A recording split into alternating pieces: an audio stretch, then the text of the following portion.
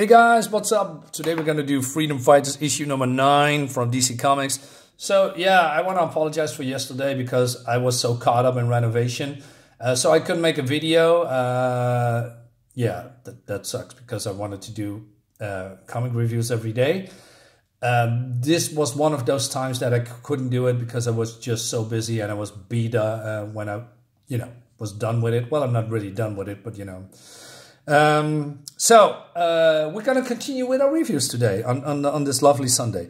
So guys, um, if you like my uh, channel and you want to support me, uh, subscribe to my channel. You know, I'm almost at 500 subscribers. That would be amazing if I could reach that pretty soon.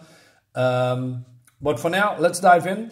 And if you want to know what the story is, check out my uh, other Freedom Fighters review on issue number 9 on my channel and uh, like my video, leave a comment, you know, also leave a comment in this video. Like I said, it helped me a lot with the algorithm. Uh, so, like the cover, you know, this is Americommando, and he's um, saying to the kids that the freedom fighters are the enemies of America, right? And it seems that he has just captured them because now he is the leader of the Crusaders. Now, the Crusaders are a comic book characters. Yes, I know these are comic book characters too, but in this, you know, the, the real universe, they are comic book characters brought back to life. How? We don't know. But it seems that the Americommando, who is actually an old enemy, presumably dead, called the Silver Ghost, he was responsible for framing the freedom fighters in the eyes of the police and also the man who's about to be their executioner, right? And um, so this book is from the 70s. There's also that 1970s dialogue that made me laugh a lot. It's it's corny, uh, but it's fun. So he basically wants to electrocute them, right? Uh, but he cannot, you know, stay here because he must return to his unwitting allies, the Crusaders. Can't let them find out they're being duped. he says. But then we have Lois Lane, I mean Martha Roberts, who's a TV reporter, and she's splashing some water on Namor, I mean Barracuda.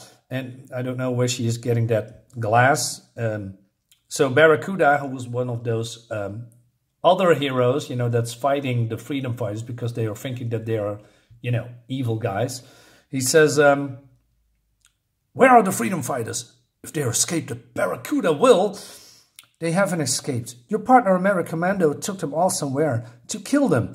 He looks a little bit, well, he looks a lot like Namor. I mean, he has this pointy ears, he has this wings on his feet. So I believe he's more like a crossing between Aquaman and Namor, I guess, right? So she says that, um, you know, that Americommando is uh, uh, uh, the Silver Ghost, but then, oh no, he's here. And she says, hey, that's an interesting theory, Miss Roberts. Um, but it's only a story. The freedom fighters got away. Um, and you are trying to uh, cover their escape. And I'm not sure what's with the resolution. Here we go. Um, so um, she says, hey, don't believe her. Uh, he speaks to the Barracuda. She's, after all, a bleeding heart reporter who has been sympathetic towards those fugitives since they first broke out of jail.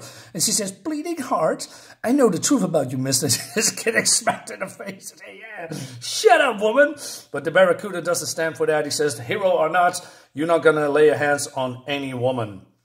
Um, and, and he says, then you won't stand. Okay, so there's a brief fight. And... Um, so we see what the Barracuda can do. He says, the monarch of the ocean bows to no man, not even you, leader. It's time you learn the ways of the sea, where the mightiest creatures is king. The same rules apply on land, which is why I lead the Crusaders. So yeah, everything is back to normal. So he's ordering the rest of the, the Crusaders to uh, to uh, go to, uh, um, you know, uh, track down uh, the, the, the, the freedom fighters, right? And uh, they are heading west. And he says, I will return to New York and to report to District Attorney Pearson. Miss Roberts will accompany me. Now move out. Look at these cool old toys, you know, from back in the day. Um, so um, he, he, he boasts and gloats and he says, Hey, I'm going to take you where I'm going to murder, or maybe they are already murdered, the freedom fighters, and you're going to join them in death, or something like that, right? Um, meanwhile, now we have this this this 70s language, right? That speak it's, it's hilarious. Now, so the Ray here's here. He says, "Holy Hannah! If the juice goes on before we get free, we are not we in for the shock of our lives." Who boy, you bad news tonight, Terrill. Nothing like morbid jokes. That's actually weirdly enough funny. Anyway, so the others are still uh, in, as he call it, dreamland. So the generator is generator is starting up. So he has only one choice to um, to absorb the power until they wake up. So he's shouting, "For hey, wake up, Tom Sandy!" And then uh, the other, um, how do you say? Um, why am I forgetting? Uh, ah man, Uncle Sam, yeah, right. Uncle Sam wakes up and he says, Thunderation! And he then pulls out, I know, I didn't know they have a plug in giant generators. But, um, all right, so he saves the day and he is releasing some um, um, of that energy back into the generator again, you know, powering the city again. So uh, they're going to flying away because they need to prove, right, that they are innocent, right? And, um, but then American Commando comes with Marfa here and they are escaped and she says, Well, there's only one thing you can do, and that is kill me, right? And she said, I sure hope the fighters return to save me. But he says, Much as I like to, my dear, I'm afraid I can't oblige as yet. With those Crusader heroes alive, you can better serve as me as a hostage. It worked before, you know, probably in some other book, right? So, um, okay, so they're going to fly back to Manhattan. And, um, well, Condor and uh, the rest are engaging um, in the rest of the, the Crusaders, right? Uh, so we have this Barracuda guy, and I believe this torch guy called Sparky or Fireball, Fireball, I guess.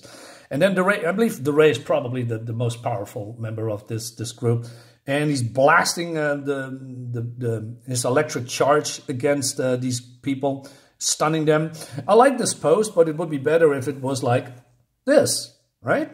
and then we see a little bit better. But, you know, I don't mind. So, um, I mean, uh, speaking of old 70s stuff, look at this. Exploding fountain pen. Uh, we have a magic brain calculator. And what is this? Secret safe, freezing powder, snowstorm tablets. What? Free things. Um, right? Hypno coin. oh my god. Um, potato gun. You can all buy for, I don't know, buck. Atomic joy buzzer. so what is this? Right. it's just fun. Anyway. so they all falling down. What's with the re resolution? Here we go. And then Toyman, who has I don't know, apparently mental powers, also looks like Superman in my opinion, a little bit, to cushion their fall. I didn't know that mental powers work that way because they are, I don't know, mental powers. They are not telekinetic or something. But hey, comics, right? So uh, he's interrogating this star spangled buddy and he wants to know where Americommando is. And he says, well, they went to New York. And the newswoman, newswoman Martha Roberts, with him? Well, get off me, you squirt. And um, so he says to uh, hey, we need to go after them. so they're going to do that. It's a long walk, chum. So why don't you? So why don't I give you a lift? Our buddies can handle a four on four situation. But then the Barracuda is attacking um, Uncle Sam with the trident, right? And um, he says, um, "You're fair comrade against fared well against my comrade Uncle Sam, but you taste death from Barracuda."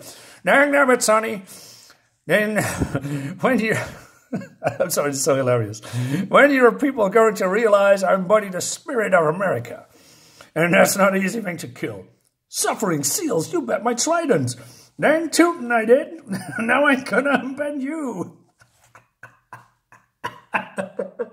This is so funny. Dang tootin'.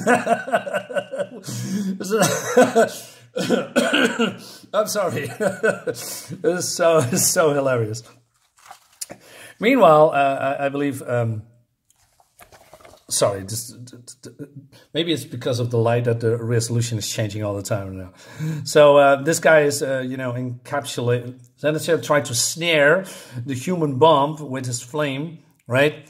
And so the human bomb takes off his glove, and um, so I believe Fireballs is coming at him, and he says, "Hot enough for you."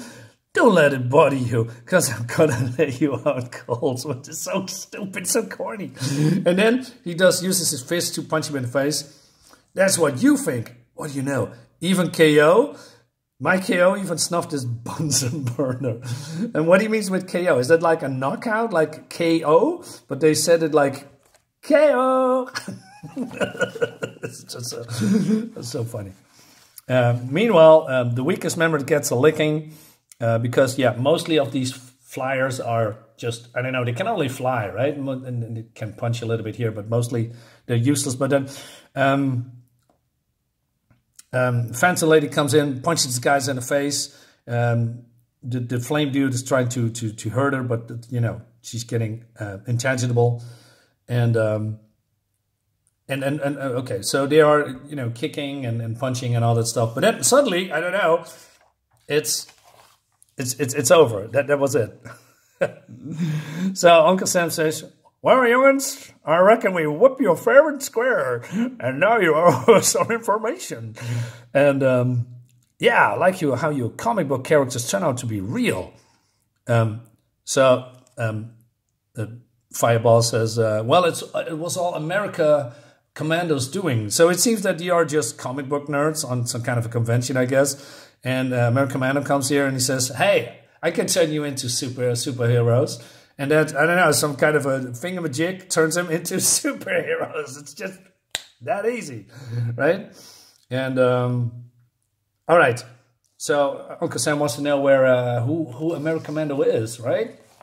Uh, we don't know for now. Meanwhile, American Commando and, and Marfa is just flying um, to Manhattan, and then we have the Ray and Doll Man. He says, I didn't expect him to find him so fast. If I recall my old comic books, the real American Commando couldn't fly. So um, they're engaging in, into um, into a fight, right?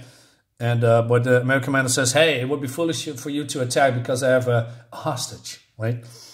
And then um, Marfa says, "Darrel, he really is the silver Commando." The Silver Commando? That's right, you minute pest. But you never live to tell anybody. Uh, so he's he's dropping him down. So Darrel is falling, and um, right? But um, the ray blinds this guy, goes after him, uh, but it doesn't matter because he has mental powers, or you know, yeah, to save himself. Like I don't know how does that work, and uh, I don't know. But uh, Ray um, punches him, and uh, he releases then the girl, and she's falling.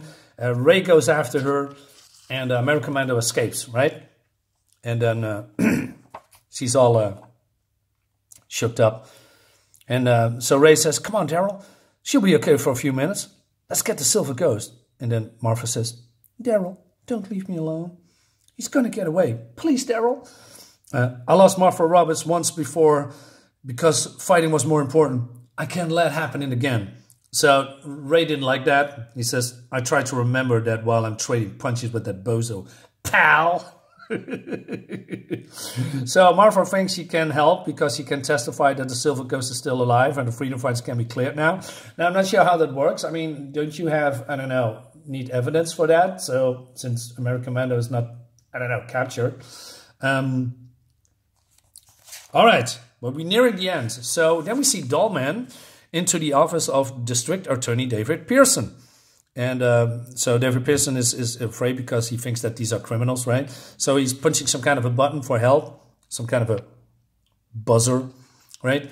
So Dollman says, I realize there's a better way than running from the law. So he said, what are you doing? Not me. No, don't. And then he, I don't know, shoots him. Oh my God, he just murdered Mr. Pearson. What happened here? Um, I want to know. And do, do, I have issue number 10? I hope so. I need to get this. I, I want to know what's going on. this is fun. This is really fun. Um, and exciting too, because now we have a very cool cliffhanger. I mean, is this the real doll man? What happened? Um, great stuff. Guys, let me know what you think about this comic. See you next time. Bye bye.